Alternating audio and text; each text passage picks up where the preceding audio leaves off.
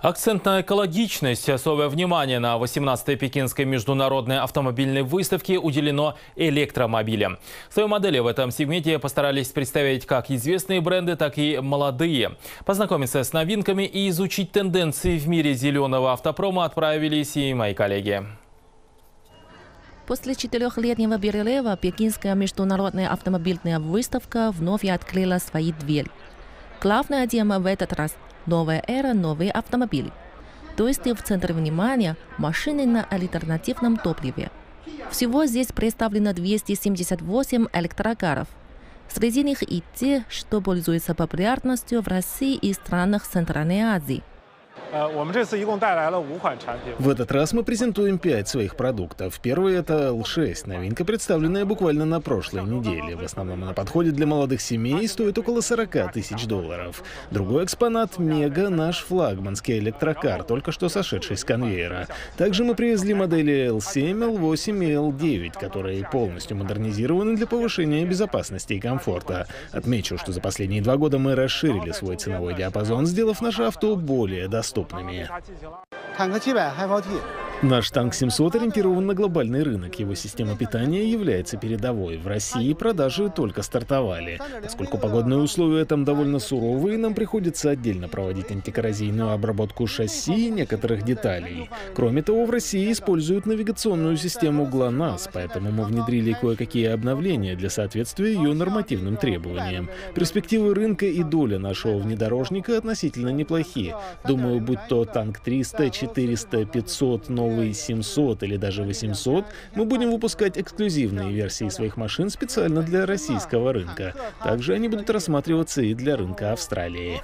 Свои экологичные новинки на пекинском автосалоне представили практически все известные китайские производители. Li Auto, Xiaomi, Zeekr, iCar и другие. Особенно живой интерес трендовые дебютанты вызывают у иностранных гостей.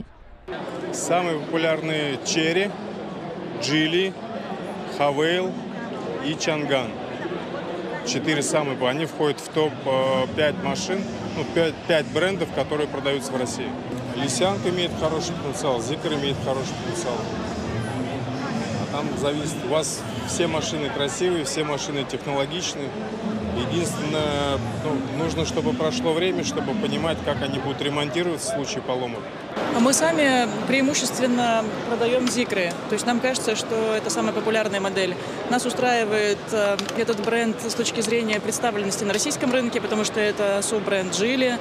Э, во-вторых, это быстрая очень скорость выпуска прототипов. В-третьих, хорошая научная база, свой корпоративный университет. Нас это вот э, э, прельщает но также, в частности для российских потребителей, важно, чтобы оставался выбор или план «Б», чем именно накормить своего железного коня в зависимости от ситуации. В стране с огромными расстояниями и перепадами температур на этапе расширения инфраструктуры для электромобилей ситуации могут быть разными.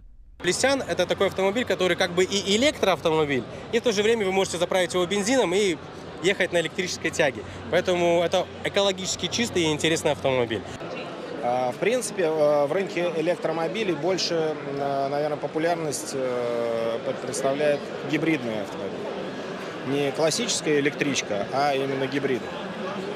То есть э, пробеги для крупных городов электричка очень востребованный товар, потому что пробеги составляют от 100 до 150 километров, и этого достаточно для тех объемов батарей, которые представлены на российском рынке.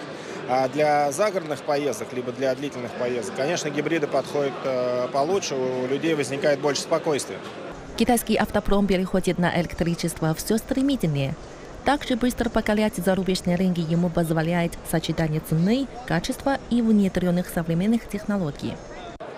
За последние четыре года автомобили на новых источниках энергии в Китае стремительно развивались. В 2023 году Китай экспортировал более миллиона двухсот тысяч электромобилей. Это примерно на 77% больше, чем в 2022.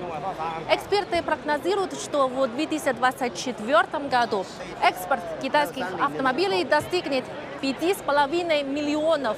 Среди них 35% составят именно электромобиль. Китайские транспортные средства на новых источниках энергии – будущее многообещающее.